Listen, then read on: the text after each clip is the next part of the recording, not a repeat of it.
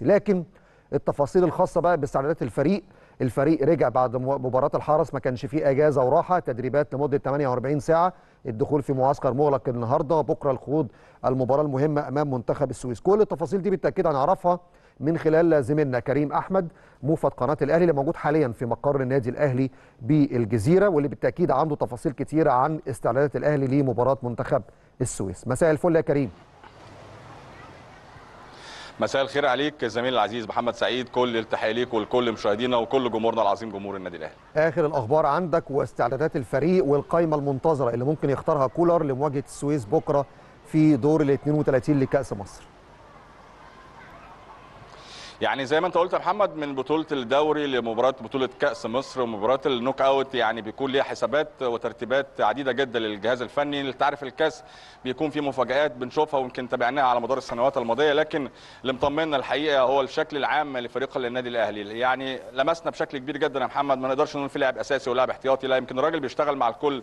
التدوير كان مهم جدا ويمكن كان لينا يمكن حديث قبل المباراة حرس حدود قلنا يمكن مستر كولر هيطبق يعني شكل ال rotation في أكثر من لعيب. وكمان المهم جدا يا محمد هي المهام يعني المهام اللي بيديها اللاعبين بتخلي شكل اللاعب يظهر بشكل كويس جدا. شفنا القندوسي الحقيقة بيأدي أداء مميز مكاسب عديدة جدا. طاهر محمد طاهر إحرازه للأهداف ومشاركته من جديد. أمور عديدة جدا. الحقيقة مش مكاسب فقط لغير للثلاث نقاط لكن كلها مكاسب فنيه الراجل بيطمن كل فترة. لكن زي ما بأكد لك مباراة الكاس بتحتاج ترتيبات بتحتاج أمور أمور عديدة جدا. يمكن أنت اتكلمت على حراسة المرمى. من الواضح ومن الشكل العام إن الشناوي يستمر في حراسة عرين النادي الأهلي في مباراة الغد. لأن أنت عارف زي ما بأكد لك بقول لك حراسة المرمى مهمة جدا في مباراة الكاس. الخبرات مهمة جدا إن أنت تكون متواجدة في هذه المباراة. مهما كان اسم المنافس ومهما كان الفجوة الكبيرة أو الجاب الكبير جدا من تاريخ النادي الأهلي ومنتخب السويس. لكن أنت عارف الاحترام للمنافس أمر مهم جدا وده اللي بيأكد عليه مستر كولر وكل اللاعبين. النهارده إن شاء الله بإذن الله تدريب الختامي والأخير لفريق النادي الأهلي قبل التوجه إلى المعسكر المغلق المعتاد قبل المباراة ب 24 ساعة. مباراة غدا بمشيئة الله على استاد القاهرة فيها الثامنة ونصف كل التوفيق إن شاء الله للنادي الأهلي. لكن زي ما بنتكلم طبعا على بعض الأمور الإيجابية عندنا برضو بعض الأمور يمكن اللي ما كناش بنتمنى إن هي تكون متواجدة معانا وهي الإصابات الحقيقة. السولية بيغيب عن مباراة الغد ومعه متولي.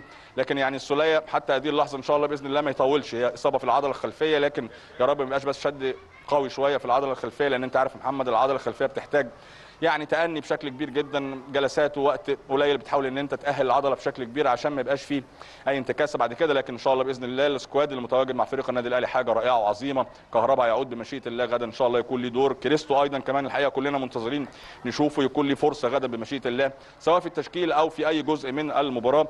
أيضا كمان كل اللعيبة الحمد لله يعني طمنا عليها ما فيش حد بيشكي من حاجة. كل اللعيبة جاهزة اللعيبة اللي رجعت من المنتخب. حمدي هنشوفه بكرة في التواجد بشكل عام في القائمة. كل اللعيبة الحقيقة اللي غابت عن المباراة الماضية هنشوفها في القائمة لكن يترك الأمر كالعادة طبعا للتشكيل والواجبات الفنية والهجومية والدفاعيه لمستر كولر لكن الأمور طيبة جدا يا محمد حتى هذه اللحظة. أكرم توفيق يا كريم أنا شفت له صورة بالأمس كده في المران. هل دخل تدريبات جماعية ولا لسه شوية وقت على مشاركة أكرم؟ لا يعني اكرم توفيق. الحقيقة طبعا كلنا بنتمنى له كل التوفيق. يعود إن شاء الله بإذن الله واحد من أهم اللعيبة قيمة كبيرة جدا. لكن لسه موضوع الكرة محمد لسه شوية لأن زي ما بأكد لك يعني أنت عارف في التأني بيكون في الإصابات اللي هي خلفية الأمامية لكن أنت عارف إصابات الصليبي بيكون فيها تأني كبير جدا. وإن ده الجهاز الطبي الحقيقة الدكتور أحمد ابو عبله عامل برنامج مهم جدا الحقيقة سواء لكريم تو... لكريم أو أيضا كمان أكرم توفيق. يعني كريم فؤاد وأكرم توفيق الاثنين ماشيين بشكل منتظم جدا.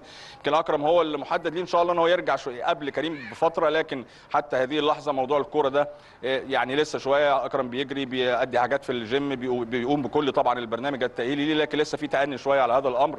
هو أيضا كمان وكريم فؤاد اثنين من اللاعبين المميزين جدا. قيمتهم كبيرة إن شاء الله يعودوا من جديد منتظرينهم بقى إن شاء الله بإذن الله مع انتهاء الموسم يكونوا في ال top form بتاعهم يكونوا شاركوا في التدريبات الجماعية تدريجيا شاركوا في أجزاء بسيطة من التقسيمات. كل الأمور دي إن شاء الله منتظرينها من أكرم ومن كريم. إن شاء الله يكونوا متواجدين في الميعاد بمشيئة الله يا محمد. إصابة السوليه ومتولي أعتقد هتستمر حتى منتصف شهر سبعة يا كريم. بالتأكيد يا محمد عشان كده يمكن قلنا ال bad luck اللي بيقابل متولي ويمكن كمان عمرو السولية انت عارف زي ما بنقول أسبوع أسبوعين بتبدأ ان انت تنزل تدريجي بعد كده بتبدأ تاخد فترات في التدريبات أو في الكوره فعشان كده من الشهر لشهر و10 أيام يمكن ده اللي بيبقى محدد على الرؤية اللي إحنا بنشوفها وعلى الإصابات اللي شفناها بشكل كبير جدا في الخلفية تحديدا يا محمد وفي ال ankle كمان لأن sprain ankle ده بيكون يعني محتاج جهد كبير جدا ومحتاج حفاظ طبعا على الجري بيكون ليه بمسافات معينة وبيكون بسرعة معينة. هنفقدهم ان شاء الله يعني هنفقدهم الفترة اللي جاية لكن إن شاء الله بإذن الله زي ما بنقول ثقتنا كبيرة جدا في كل ال squad اللي متواجد في كل اللعيبة. شفنا خالد عبد الفتاح الحقيقة حاجة مميزة جدا رامي ربيعة بيعود من جديد. كل اللعيبة الحقيقة مكاسب كانت مهمة جدا لكن بنأكد على مباريات الكاس محتاجة تركيز كبير المفاجآت إن شاء الله. ما نشوفهاش نشوف كلها إيجابيات لفريق النادي الأهلي. نقدر إن إحنا إن شاء الله مهما كان الاسم ومهما كانت الفريق اللي بيقابل النادي الأهلي بيقابل بطل أفريقيا بيقابل نجوم النادي الأهلي. بيحاول إن هو يسوق نفسه بشكل كبير. حتى الجهاز الفني بيحاول إن هو يفرض نفسه بشكل كبير لكن إن شاء الله عندنا ثقة بإذن الله في كل لعيبة النادي الأهلي نتخطى مباراة الكأس بمشيئه الله محمد. هل ممكن يكون في تصعيد لعدد من لاعبي القطاع الناشئين مواليد 2005 2003 اللي شاركوا في المباراة الودية الأخيرة أمام قوات الدفاع الجوي؟ هل ممكن يستعين كولر بعدد منهم في مباراة الكأس ولا نفس المجموعة اللي معاه في الفريق الأول هي اللي مستمرة حتى لو مباراة في كأس مصر؟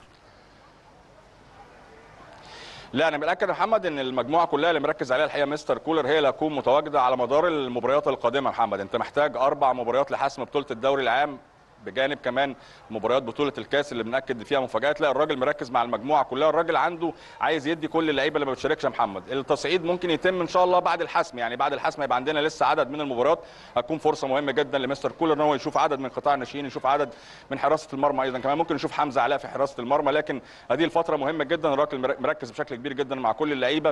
أنت عارف يعني الإجهاد بيكون متواجد في هذه المرحلة تحديدا لأن التوالي المباريات بتلعب يوم 22 ويوم 25 ولسه هتلعب يوم 29 مفيش وقت بشكل كبير جدا إن أنت تعمل ريكفري عشان كده التركيز كله مع هذه المجموعة. إن شاء الله بإذن الله تكون فايدة كبيرة جدا في اختيار التشكيل الأمثل بمشيئة الله غدا. مباراة تكون مهمة جدا لكن إن شاء الله المكسب من نصيب النادي الأهلي يا محمد.